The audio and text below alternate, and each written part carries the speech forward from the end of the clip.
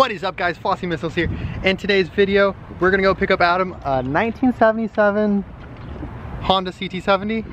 I'm super excited about it. I'm not even getting it, Adam's getting it, but I'm super excited for him to get it because I'm planning on getting one soon. I've been looking for a couple months on Craigslist, OfferUp, looking for all the good deals. Um, we finally came across a good deal for Adam, a thousand bucks, dude.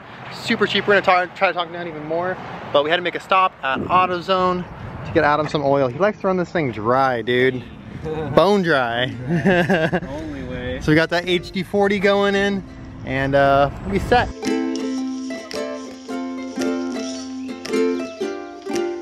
Just arrived at the location. Hopefully we can film this thing. Adam, how you feeling? Tired. it's a little windy here in San Diego. And this is the furthest we've ever taken this van, so did pretty good. Hopefully this thing ends up being legit. No, the overprice for this one. That's why I take. I put the price very low. Complete, don't mix anything. It's even got the blinkers. Looks awesome. Uh, and yeah, you have to. It, you can get at least 14 or 15.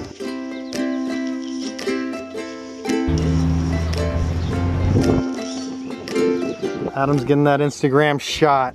But boom, there it is. This thing is so dope. I'm in love with it. It's not even mine, dang it. it's messed up, dude. but yeah, I just test rode it around the block a little bit. It needs a little bit of work. The brake goes down pretty far, but it's just an adjustment. And uh, the carburetor probably needs a tad bit of adjustment because uh, because sometimes if you come to a hard stop, it'll die and you just have to kick it up real quick. But um, it fires up first kick, which is really cool too. But yeah, I definitely do a little tune up on the carburetor, maybe um, adjust the idle a little bit. And then right here, this gasket, probably get this one replaced, which is a couple dollar part. And then there's a there's one on the petcock that leaks too. Like leaks a little bit of gas, so probably fix all that stuff up. But man, if it's right in the van again, no problem. Are you going on some trips? we're going on a big camping trip in August and we're both gonna get these. Hopefully I get mine within the next couple paychecks because can't let Adam freaking have all the fun. so messed up, dude. Gonna, no way. Pit stop it In-N-Out. Dude, look how fat this burger is. Like extra everything. Let's hit the road. You ready for the freaking switcheroo, dude? Right here. The one, two switcheroo, but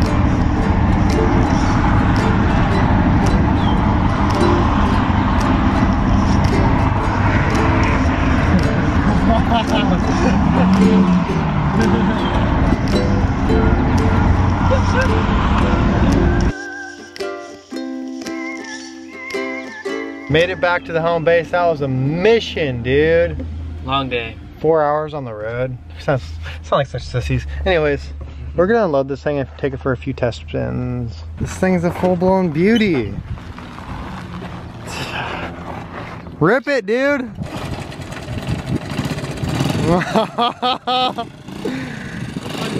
you go down one? Uh, it's only up, I think. I think it's all up.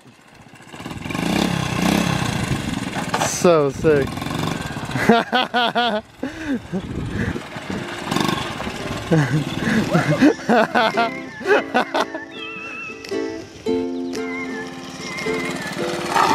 That's so sick.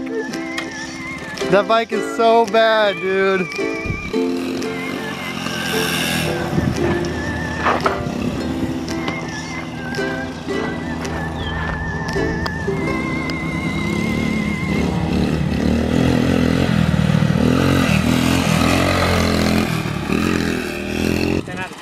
10 out of 10 would recommend.